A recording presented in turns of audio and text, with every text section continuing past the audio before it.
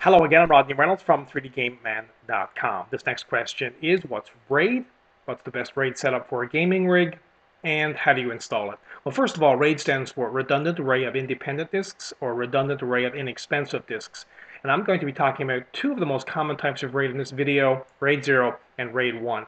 RAID 0 is a striped volume and data is evenly spread across two or more hard drives this way, the load is shared across those hard drives and performance is really, really good. Now, RAID 1 is a mirrored volume and it's exactly what it sounds like. Basically, it's one hard drive backing up the other one. That is a fantastic one to go with if you want to have security. So you don't want to lose any data, go with that particular setup. Because, for example, if one hard drive fails, you can just pop in another one and all your data is safe. Capacity is the other issue. And if you have it a RAID 0 configuration and you have two 500 gigabyte hard drives, you're going to get one terabyte or 1,000 gigabytes. So 500 plus 500 equals 1,000. Now the math doesn't equate the same in a RAID 1 configuration because if you have two 500 gigabyte hard drives, it's only going, only going to give you a capacity of 500 gigabytes because one drive is backed up. But it's the safest way to go. RAID 1, if you want performance, go with RAID 0.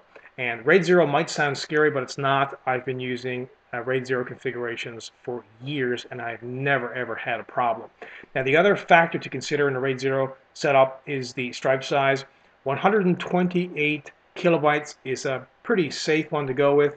If you have small file sizes, go with something lower than that. So how do you set it up? Well, you need to do so at boot up. And it's going to depend really on what, on what type of motherboard you have, the keys that you press when you're booting up to get into your RAID controller. But go in there uh, upon boot up and go into your RAID controller and configure your RAID 0 configuration. Uh, the other thing too, of course, if you have um, you know, a PCI controller separate from the motherboard, then you need to do that, of course, during boot up as well. And uh, once that's done, you need to install the latest drivers um, uh, for the Vista operating system. And it's very easily done. You can just dump those drivers on a USB drive, and when Vista is ready uh, and asks for them, you can just direct Vista to search your USB drive and find those drivers. And believe me, uh, using RAID 0 over a single drive is amazing. Hope this answers your question. Keep your questions coming.